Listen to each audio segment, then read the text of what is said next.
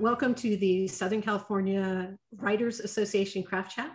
I'm Maddie Margarita, your host, here with Diana Pardee on Tech. Um, today, we welcome Nancy Cole Silverman, who's here to help you tighten up your saggy middles. Um, this is for particularly if you've gained the COVID 19 uh, over the past year and a half. Uh, maintain your story momentum and keep your stories revving until the end. Uh, a little bit about Nancy. In addition to writing short stories, she has two series with Henery Press, The Carol Childs Mysteries, featuring a single mom whose day job as a reporter often leads to long nights as a crime solver, and the Misty Dawn series, centering on an aging Hollywood psychic to the stars who supplements her readings work working as a consultant to the LAPD and the FBI. Nancy lives in Los Angeles with her husband and a thoroughly pampered standard poodle. Welcome, Nancy. Hi, thank you for having me today. And I, I had to laugh when we uh, came up with this title. Uh, Madeline said it's saggy middle. So if you're looking for liposuction, that's not on this Sandus channel. A few sit-ups maybe, but I can't help you beyond that. so uh, my name is, as you know, Nancy Cole Silverman, and I spent uh, 20 years in 20 to 25 years in, in talk radio, uh, most of it in news. Uh, I did a lot of commercial copywriting and some news copywriting. Um, and when I retired from radio back in the early 2000s, my biggest problem was how am I going to stretch my 75 to 130 word copy to 80,000 words? And without that saggy middle. And I really was uh, trying to, like most of you, kind of looking around thinking, what do I do? I've got this great idea. And now it kind of falls apart when I get to the middle. First of all, let me tell you that I've always believed that the story picks the writer. I don't think somebody can say to you, I've got a great story for you and you should go write it. Um, I'm not that way anyway. There are ghostwriters who do that. And maybe if I had enough money in my hand, I might, might agree to that. But I find it kind of difficult to do that. Uh, for me, um, I will get an idea for a scene, an idea for a book, and it kind of comes with a, with a flush of inspiration and I'll write down a few, maybe an opening scene. And at that point, I think I've got a picture of this story. And I like to say it's kind of like a jigsaw puzzle. And except the problem is, is you get a flash picture of that jigsaw puzzle, and then it all is thrown on the table, and it all falls apart, and you've got different, uh, you know, pieces, different places. You've got, you know, blue for the skyline, and maybe you've got a little yellow here. And so there's a point of why I'm telling you this is because your story if you initially get it, you've seen that blush of a picture, and then it falls apart as a jigsaw puzzle. And then I want you to take the pieces and kind of put them in appropriate spots. This is going to be for my opening. This is going to be over here about my character. Um, a little background, if it helps for you to know, I, as, as uh, Maddie said, I have two series with Henery Press, and those are both kind of uh, soft-boiled and cozy. And I recently signed a three-book deal, uh, and I have just finished the first book, and I'm currently at work on book two in that series, and I am in the muddy middle. along with at the same time a short story where I'm also in the muddy middle. So as I talk to you, you, you can be you can take heart in the fact that I too am going through this very same process. Um, so I'm going to talk to you a little bit about once you get that great big picture of what you want to write about. How many of you have experienced right? Have you ever any of you written a log line? If you can just get a, a, a raise of hands. Have you written a log line? Okay, there's one, two, Oh, somebody, okay, the editor is flushing her hair. so I'm going to take that as a yes. If you've not written a log line, a log line is just simply an overall one sentence of what the book is about. And do yourself a favor. Write this as big as you can, post it on the bathroom mirror, post it on your computer screen, post it anywhere you're, where you're driving to work, post it anywhere you can, because everything you're going to do has to answer to that log line. If it doesn't, that's one of the first clues you're going to go off the muddy middle, kind of off the earth is flat, and you're going to fall off of it. Stick to your log line. Now, that may sound odd when I'm talking about the log line in the muddy middle, but everything must support that log line. You can't fix the muddy middle until you have a really clear idea about what your story is about. And if you're a, how many pantsers do we have here? And do you, are, are there pantsers in there? Or are they plotters? Pantser, uh, right? Pantser, one one pantser. Everybody else is a plotter. You're you're a big outliner. Okay, great, because this will work either way, okay? Because whether or not you're a pantser or a plotter, if you're a plotter, somewhere in the middle, you've started to go, how am I going to get there? I don't really know what I'm doing. So this is not unusual for things to fall apart in the middle because you get that great burst of enthusiasm. You're starting down that path, you know where you want to go, and then suddenly you run out of steam. So to keep your story um, in the in front of your mind, you want that log line there to ensure everything supports it, and then it keeps you from veering off of it. So I like to think that, and since I write mysteries, that I like to think as myself as the author that I'm a detective. Now, this maybe happens because I also worked around newsrooms for years, and as a news writer, you would go out and you would you would go out on the scene, but it was kind of after the fact. And I've talked to a lot of uh, reporters. They say they really have trouble crossing into the uh, fictional world because they have to make it up. And when you're a reporter, you're actually following the facts. So what you get to do as a writer is you get to think of yourself as the detective on the scene and who are you going to interview? And so when I begin a piece of work, in addition to the log line, the first thing I want to know is who are my characters? And so you really want to sit down and you want to make who your characters are. Now you're going to say, this doesn't have anything to do with my saggy middle, but I'm going to challenge you and say it has everything to do with your saggy middle. Because when you meet somebody for the first time, yeah, Madeline, I really don't know. Madeline, I don't really know you very well. I know we've, we've chatted a little bit, but I don't know all everywhere you've lived. I don't know that maybe you're allergic to peanuts. I don't know if you've been married three times or one time, or if you're engaged and going to get married next month. I know none of this. The same thing happens when you meet the characters on page in your first in your first part of your book. And so I write a very good description of my characters. And that's going to be the first blush of a description. I put that in what I call my act one part of my character development. And this is before my paper, my pen has ever really, really touched the page, other than maybe to write a few scenes that got me excited about writing the story. And I want to know the first thing that you'd know when you first meet somebody. What do they look like? How old are they? What are they, what are they like? What are they not like? How are they related to your protagonist? And one of the things that's very important to do when you do this is make sure you get birth dates down because sometimes you'll start writing something, think, oh my gosh, well, he's not old enough to be your father, not if he was there in 1945. And it's very important that you get down locations, basics how do they what does this person look like? Uh, a physical description the relationship to the protagonist. You know you would ask these things when you're first meeting somebody particularly if you're a detective on the scene. Do you live here? Can i have your address how do you know this person? Did you work with them? You don't need to be any more involved than that toward your first part. Because the next thing I do is I start to actually look at this as though there were acts. And as, as you do acts in a play. And you're going to say, well, I'm not writing a play, I'm writing a book. But the layout is not all that different. There's act one, which is the setup. There's act two, which is the confront, which will end with the confrontation, and Act Three, which is the resolution. At each one of these acts, it helps for you as the detective to think, I need to go back and talk to my characters. Because unless you go back and talk to your characters, they haven't grown and you don't know what they're thinking and where they are. And it's very easy at some point to have actually lost characters, that you've kind of lost track of them or you didn't realize how important they were. You know, it's not at all unusual when you start out writing a mystery or writing a book that you think, oh, I know, the butler did it. I'm going to make sure the butler did it and everything's going to say. But then you get down to that last part and you go, I don't think he did it. And you're writing along and you just can't make it happen. And the reason you can't make it happen is because you really haven't spent enough time with different characters to know what their needs were.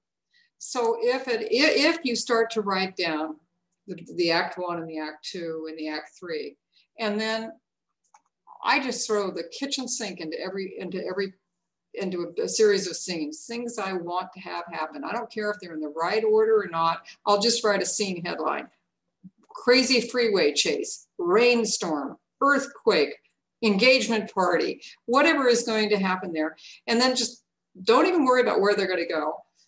But then start to think about this after you get a bunch of acts down. You've got your introduction, you've got your act one, your introduction, you're, you're, you're setting the scene. We have to know where we are, how many, who we're talking to, and what's going to happen. And then bring back your characters, your detectives, say, okay, this is going to happen. Where are all my different characters and what are they thinking? When you get stuck, put your detective hat on and go back and interview your characters. You can find out a lot of things that you might have missed. Um, the only thing I really, uh, there are rules about my three acts. And the first thing is, is that act one end with, you've created a scene where I know what the problem is. I can't get out of the problem. I can't have the problem restated to me or, or changed any other place. It has to be in the end of act one, where you've got all your characters. One thing that has always bothered me is if I'm reading a book and suddenly somewhere midpoint in the book, they've introduced a new character that I haven't met, and that's the guilty person. I was reading a book the other day and that happened, and I thought, that's a cheat. You know, the, the author got all the way through, they didn't know where to introduce him, so they introduced him in the middle of Act Two. You know, there's got to be a way to introduce them in Act One. And whether they're a minor character or a major character, they could be married to somebody, they could be the baker. You know, when you go back and interview, you find out there's an, a way that you can organically grow that person into yours, into your work without it seeming like you've thrown the reader out, which is very important. And when you go back after you've written all of your scenes, and it's a bit like a Rubik's Cube. This is really, you know, you haven't really sat down and written a whole story yet because this is very hard if you have to go back and rip things out. And that's where people get discouraged and that's where people don't finish their books. But if you can sit down and you're working on a, on a, on a developmental outline and then you can go back and you can see where things are not working or they are working rather than say i'm going to have to pad here another 30,000 words because my story is coming in at 50,000 and it's got to be 80 if you go back and you've interviewed your characters you have found where places where you can organically grow a subplot and you can organically grow your characters so that they can make more sense in your mystery um, I on my on my outlines, they're really very brief on the scenes, but they're just enough to let me know what they are. It's the time of day, who's involved in the scene.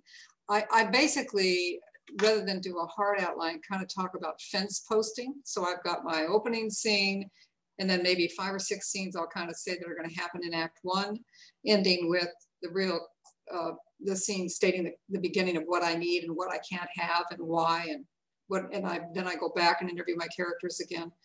So then I fence posted. Uh, and I, I like to throw havoc into my character's life. What, what, what keeps them from getting what they want? And that's just, again, a little, a little line or two that you can move around.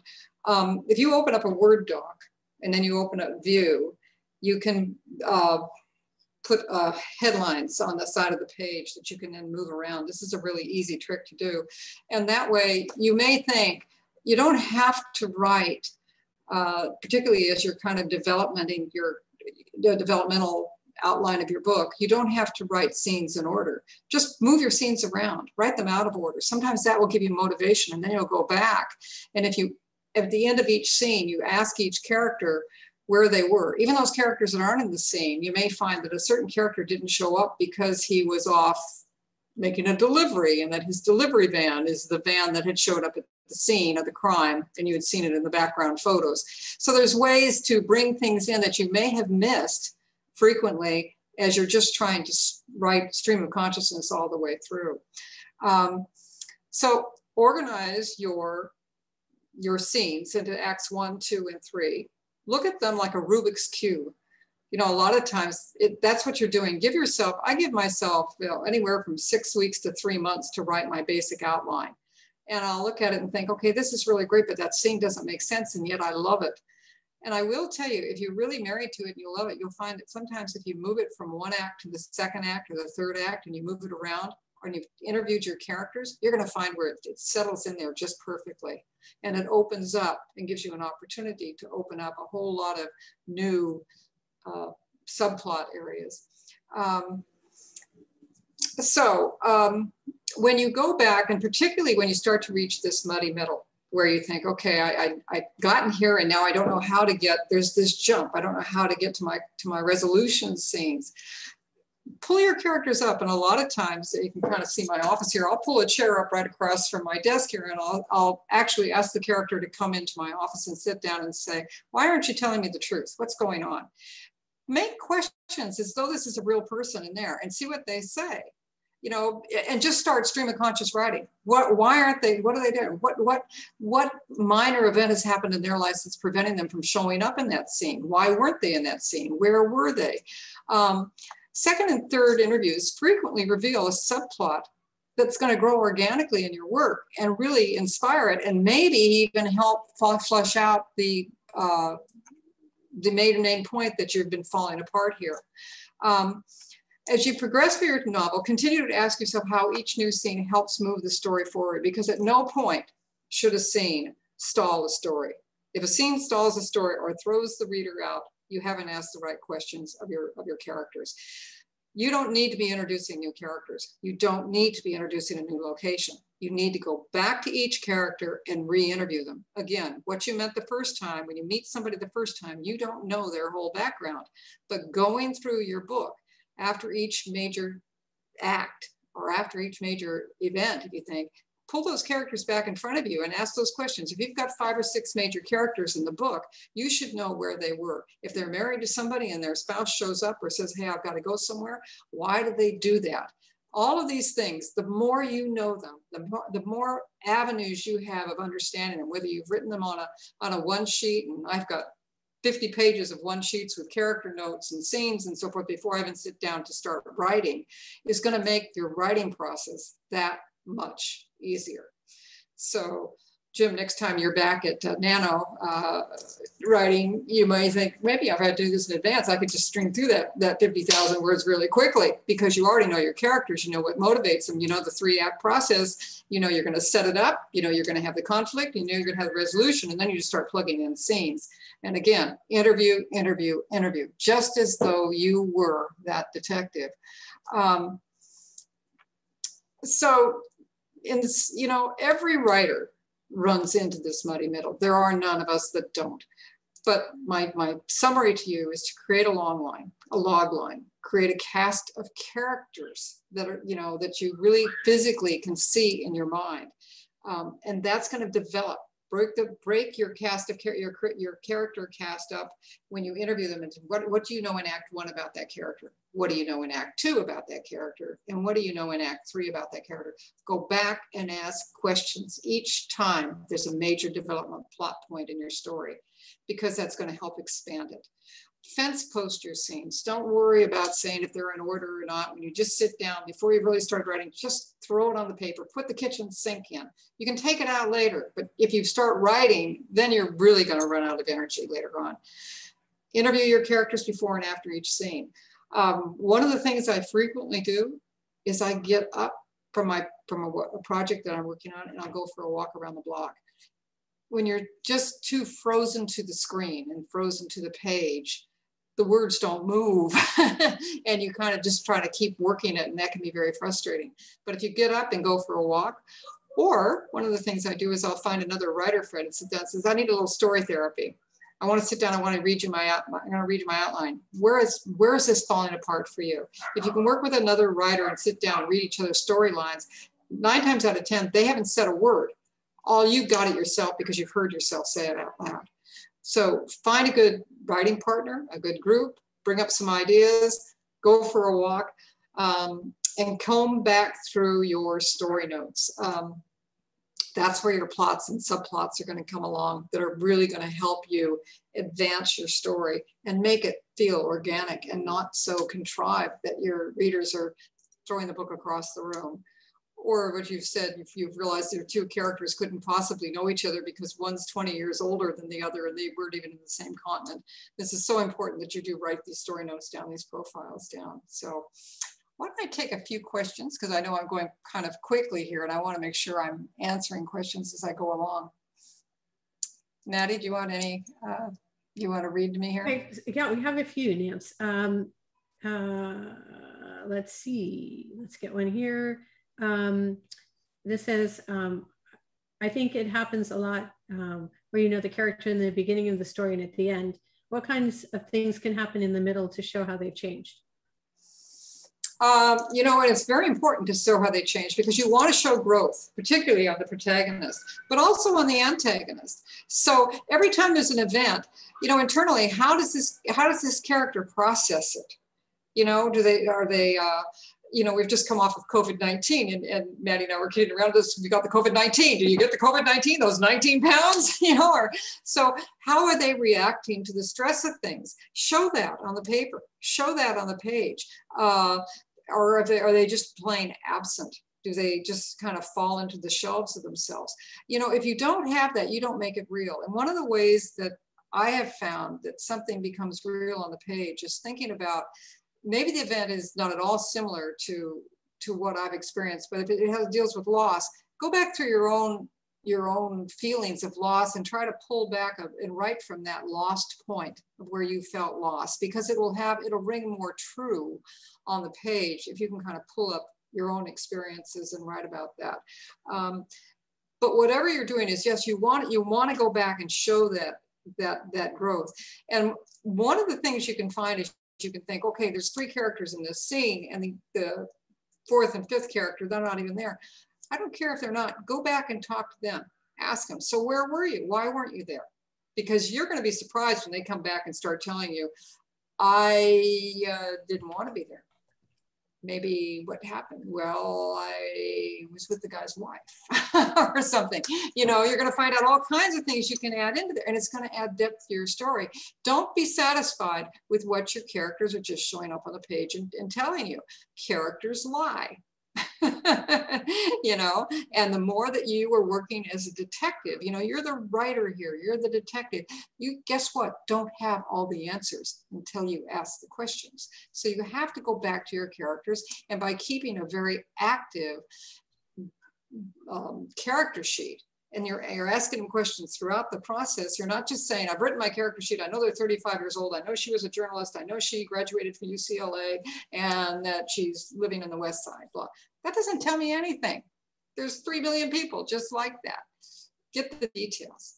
You know, who is she?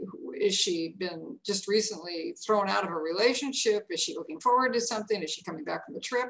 All those things that you know, and you don't have to write them all down on the page. They're going to come out though through your story where when you go back and ask, you know, Carol, uh, even though Carol wasn't in the scene, well, where were you when, when Mary was fell off the cliff? Why weren't you there? I thought you were best friends. And what does she say? Those are where your answers are going to come. It's the same thing as a detective is doing when he's really investigating a crime. And then, um, so Jim asks, what if you write too much and need to cut? I mean, well, yeah. yeah. a way not to do that, I guess, is the question in there. So what if what if you write too much? What, what how do you edit? I, I guess the question, yeah, uh, Jim, maybe you can type in some clarification, but maybe the question is, um, how do you how do you um, write the middle without writing so much that you have to cut um, thousands of words? Okay, so you're not over explaining. you're not kind of over going. Right. You know, less is more. It really is. And, you know, a lot of things can be done in dialogue and some can be done in exploitation, you know, internal thought. Um, and you really want to, you know, when you're meeting somebody, think about how people talk. Think, you know, you're in the middle of this story. You, you, have really got to put facts out there. But when you're talking to somebody, you know, think about overhear conversations. That's one of the best tricks a writer can do is listen to conversations, go to breakfast and just sit there and, and eavesdrop because people don't talk in full sentences. I told you not to do that. I'm not going to tell him the whole story, you think? What do you do? You know, and so you can kind of get that through. And then his internal thought, she never did want to tell me anything, you know. So look back, put a big red X through it, cut it, paste it, put it on another page of paper and rewrite it. I can't tell you how often it helps to sit down and open a blank page and you've got the other, I have two computer screens going all the time. One is the document as I'm working on it. One is the document, it's the, the section I'm working on and then I cut and paste back into it. Because if you open that blank page, magic happens. You say, I've got 6,000 words here. I need to get this down to 3,500 and you can think I can do a lot of this in dialogue. Some of it I can, some of it I can do in, in character, internal character feeling, and other in just in exploitation. So don't be afraid of it. You've got something that you can cut back versus something that you think, oh, I've got to go back and fill, you know. But everything can be everything can be improved. You know, one of the things that the, the tricks that writers suffer from most is thinking, I finished my document, I've made my word count, now I'm ready to press and send. Oh my God, don't do that. you know, you should be going through that document, just combing through it each each time you sit down you're going to go back and comb through and, and pull forward because the more you can comb through and pull forward, the more organic the document gets. And you're going to be doing this and doing this and doing this until it's kind of like a fine fur that's been combed. You've really got it glossy and ready to go. Okay. And then um, Diana says um, she, uh, I guess, does the, writes the scenes in Scrivener. I have all the scene cards. I start developing, then write the ones that inspired me to that day, to write that day. It worked well for NaNoWriMo. Yeah, okay. that would work well for that. Okay, so and then, oh, go ahead. No, I'm sorry. What the question was on that? Yeah, no, that was that was a comment. And then uh, we have what are the mistakes writers make most often when writing in the middle or act two? Oh, they get lost and they go off and they go off and they think they need to pad and then they'll go off on a storyline that wanders through a garden and they expect their readers to go with them and that's where people put a book down and that's where people don't finish it and a lot of times, even if they do finish it, that's where the writer loses interest in it and doesn't finish the book. So when you find yourself at that point and you think, oh, I don't know what I do. So, well, maybe we'll go get lost in, well, maybe we'll go to Disneyland and we'll get lost there and blah, blah, blah. You know, go back, go back. I guarantee you, call those characters back in as though you were a detective and sit them down and say, you know, I, I, just do the old Columbo. I don't really get it. I don't really understand. Why didn't you go with them to the market?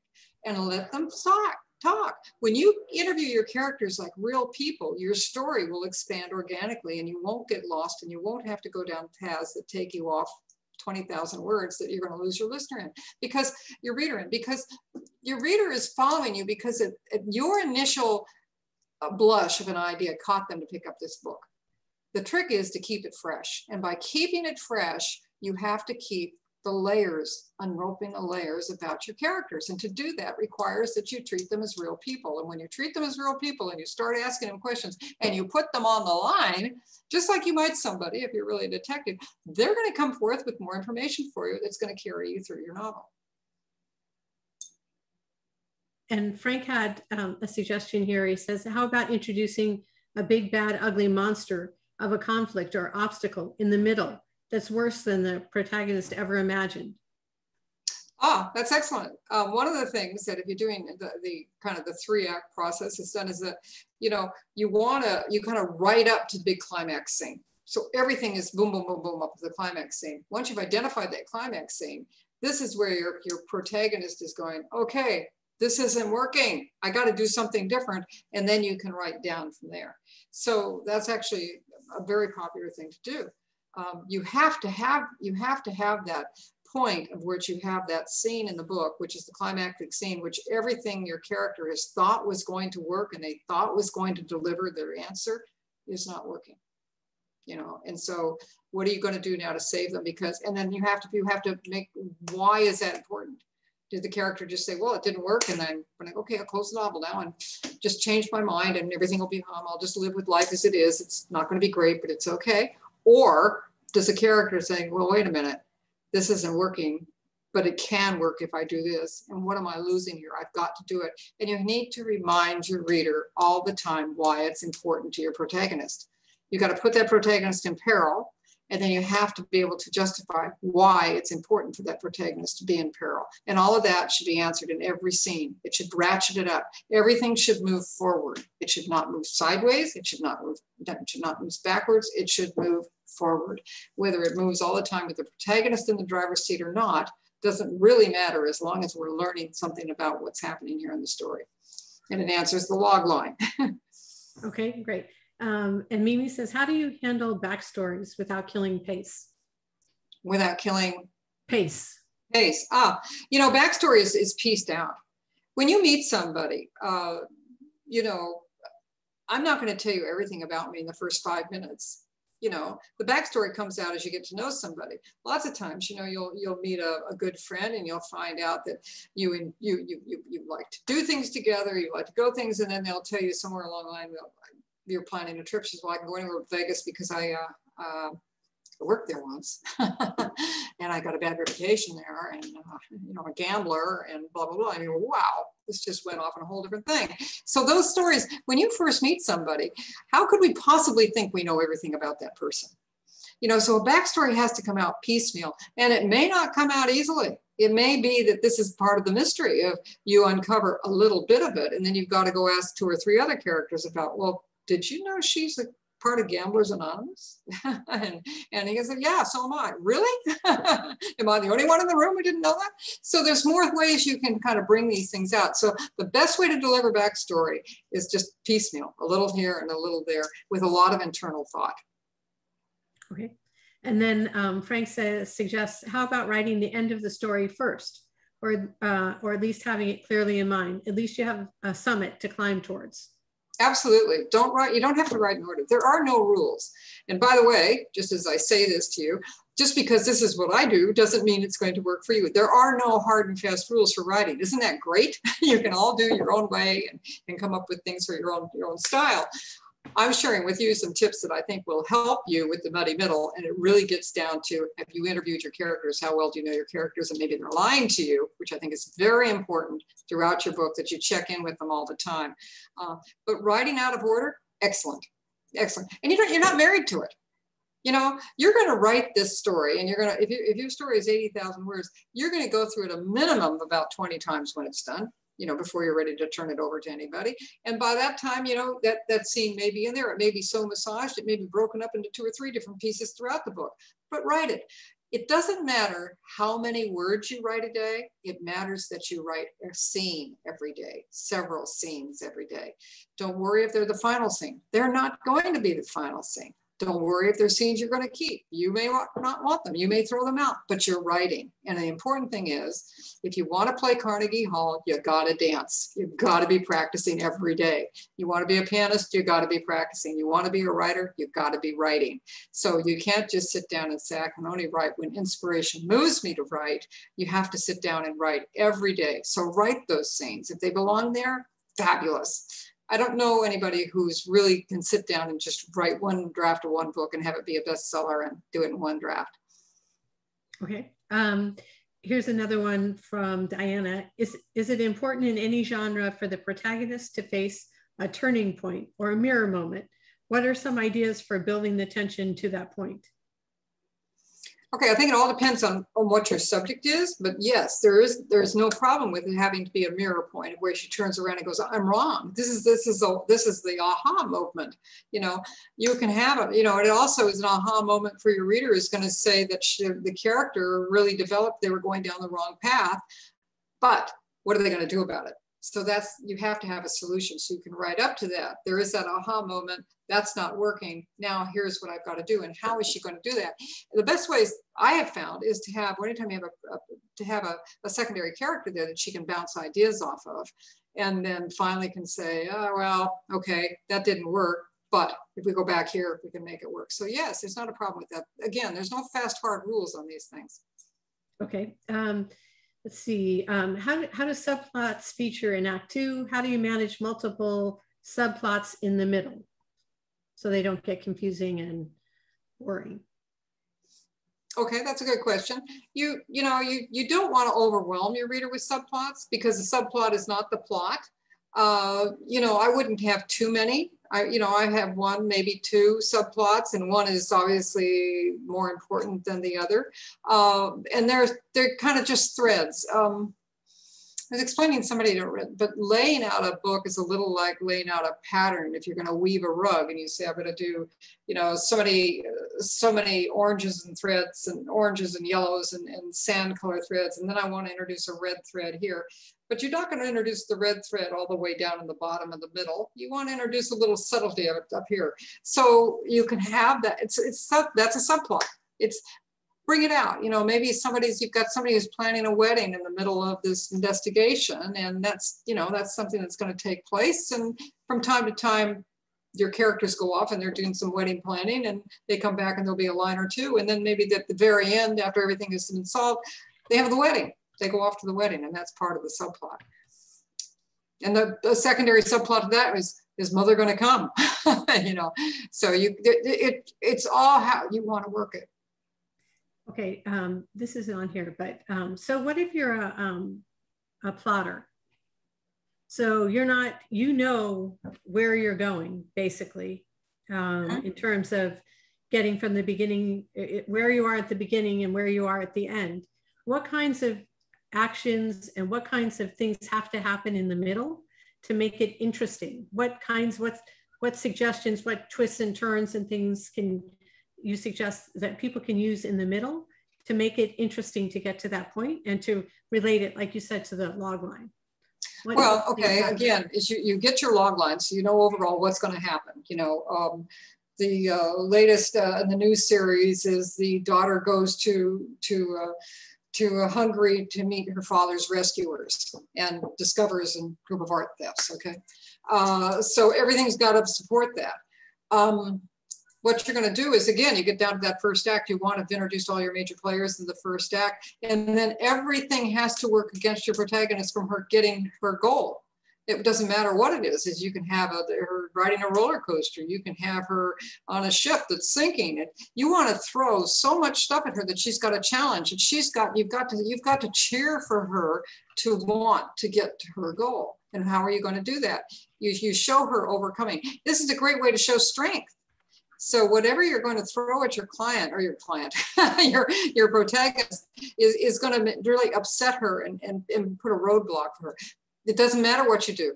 You want to you want to make it difficult for her to get to that climax scene. So when she gets to that climax scene you think okay she's going to get there she's going to get there. She's finally got the top of the mountain and she falls.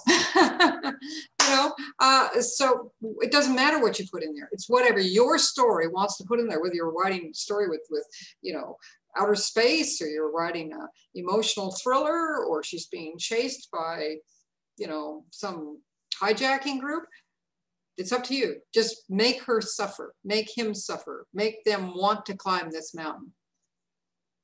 Okay, I put one in. Um, how do you know if your log line um, supports an entire book and that the motivation is strong enough to propel you through 300 or 400 pages? So not only through the, the beginning and the end, but the middle as well, that it's that it's strong enough or the motivation is there so people understand why all these different things are happening well again you get to your log line and, and you know you, you I don't think I want to sit down and write a log line in 30 seconds. You know, it may take you, it may take you a while to write a log line. Log it may take you a, a, week, it may take you a month, it may take you three days. You know, you're kind of wandering around thinking, okay, what what is the purpose of my story? I've got this idea you know, when I wanted to write The Navigator's Daughter, which is the new book coming up, it won't be up till next year, I wanted to write it because when my father was dying of a was dying, he had gotten a letter from a man in Hungary that said he had found his plane that was had been down in World War II. And he wanted my father to come see it. And I thought, well, what an interesting story idea. I should write something about that. And I had no idea what it would be. And, you know, I kind of sat around and, and, and, thought about it for a while. And about six weeks later, I, because it was in the back of my mind, that's writing, by the way. That's the BeReal. The BeReal is always going on. People say, oh, if you're not writing every day, you're just writing all day long. You should be doing 5,000, 3,000, 100, 1,500 words a day, 2,000 words a day. No, writing is kind of working the, the minutia, getting it out there, coming up with a good log line. If the log line is true, and you start putting scenes down, and I break it up again back into the acts, you're going to act one, two, and three.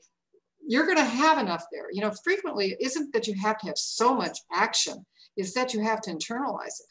Because you're, how does the action play out to your reader? Is it real?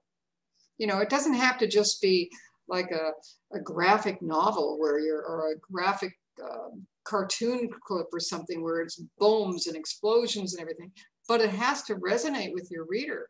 So sometimes less is more. You know, you don't have to have so many car chase scenes, but it has to resonate with your reader as to why the reader feels worried and in fear for your protagonist. What is happening? What why why is it important this woman do this? Why do you cheer for her? There's no there's not too much or too little you can put in there. It's all how you do it. This is the craft. I just uh, for everybody's clarification, can you talk? We talked about or referred to log lines a lot. Can we talk about exactly what a logline is and what it should have in it so that when you're looking at it to guide your whole story, you know that you're guiding it in the right direction? Yeah, okay, that's a good point. Because I think a log line, you don't want to put too much in it. You know, a lot of times if you pull up the, the bestsellers, I, my, my, I kind of cheat and pull up the bestsellers on the New York Times sale list. That little brief sentence description, that's a great log line. It just tells you.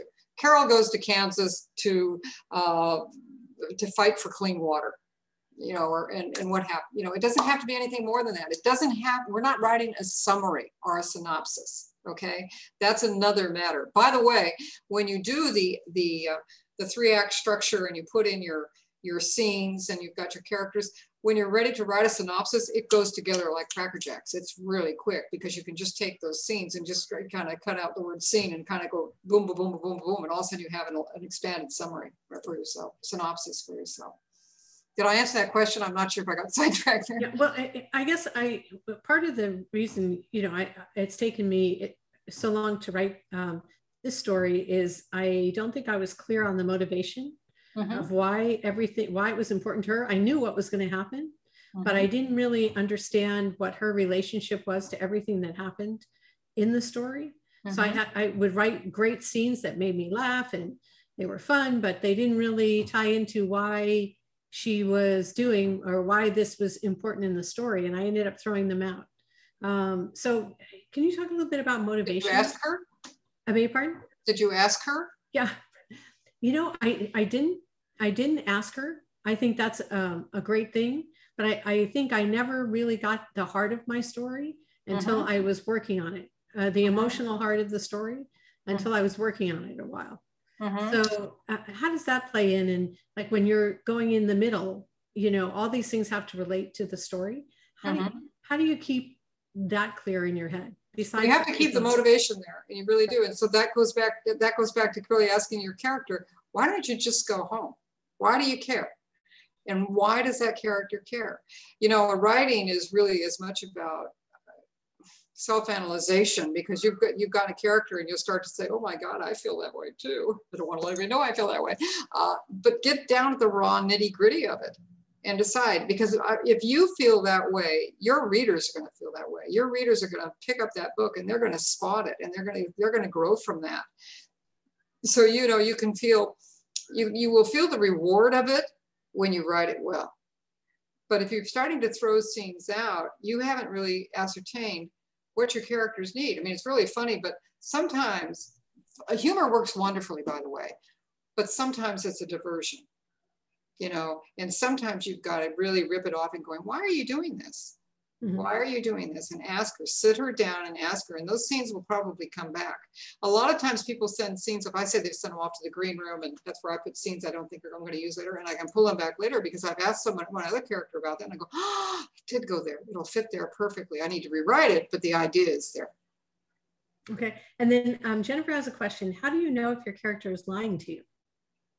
Ah, you know, how do you know if somebody's lying to you? Again you know you'll start to figure it out when you start to go through the book and you go well she's telling me this this and this and this but this is happening here. And then you pull them both in and start talking to them and you realize one of them is lying.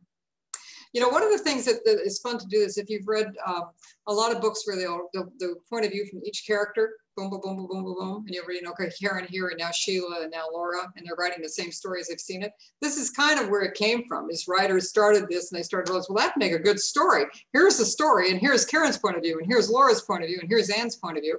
And then you wonder, well, what really happened? One of them is lying. Okay. Anybody else have um, any questions for, um, for Nancy? No? Okay, well, um, we have one. It says, um, Karen says, all your characters are lying. You just have to find out what about. you know, I remember when I first started writing, I was talking to somebody and I said, you know, the thing about writers is they're good liars. And she was really offended. She says, oh, no, that's not true. Writers aren't good liars. And I thought, yes, they really are good liars. They know how to construct a lie. And that doesn't mean they're lying, but it means they know how to construct a lie. They know how to, re- to write a good story. So, uh, many of your characters are lying or many of your characters are being protective of who they are and that's what makes them so real on the page because if you have a character and she's all 100% good you're not writing a real character so you you know we can accept a flawed character. Matter of fact we'll accept a flawed character more than we'll, than we'll ever accept a perfect character. That's not stereotypical. So you want to show a flaw. You're not going to want to show it and flaunt it right up front but you can show it throughout. And that just think of all the things you can do in that muddy middle where you're starting those opportunities to show those flaws and to show that worry and to show that but I can't let anybody know for your character versus taking that waltz down to the museum and taking the reader out of the story and trying to fill 20 pages with a bunch of fluff. Okay. Go back, interview. Okay, so we have a, a follow-up question on the motivation question. Short of eavesdropping on the character's psychotherapy session, how do you introduce the character's life experience to build that motivation into action, into the action? You know, and that all depends on where the story is going. But if somebody, if you're if you're walking down, um, or, or let's say we're going to get on the airplane and go to Vegas, and the gal says, "I can't go." She gets all the way up the door, says, "I can't go. I'm afraid of flying," or something. And then they kind of go, "What do you mean?" She says, "Well, I didn't tell you." And then you can kind of naturally get into that backstory. But don't overwhelm me with backstory people, you know, people who have a backstory that they don't want you to know about, they they'll say, "We'll talk about it later, another time," or "I can't talk about it." And then you can ask other people in the book, you know, well, did you know she was that way? And you can kind of get that a little bit. That keeps it going, by the way. That keeps turning pages. One of the things you want to do is you never want to just do a data dump because your reader isn't going to turn pages. They're going to throw the book across the room. So you want to tease it. Everything you've got you know, when you sit down and you look at that blank page, one of the best things you can do is look down and say, I get to tease you today. I am going to lie to you. I'm going to flirt with you. I'm going to have fun with you. And you're not going to know what's really going on. Great. Because that's what a, a writer's job is to do, is to get you to, to get you to follow me along, to get you to believe something and show you something you maybe didn't know. And then, whoop, what do you know? So, you know, have fun with it. Okay. All right, well, great. Um, thank you so much, Nancy. I'm going to um, thank everybody for being here today. Thank you um, all. Thank you. appreciate this. If, if you um, would like to talk to Nancy for a few minutes afterwards about your story, um, we're going to stay around a little bit after we um, end our session today. So I want to thank everybody who's watching uh, for being here, and we will see you soon.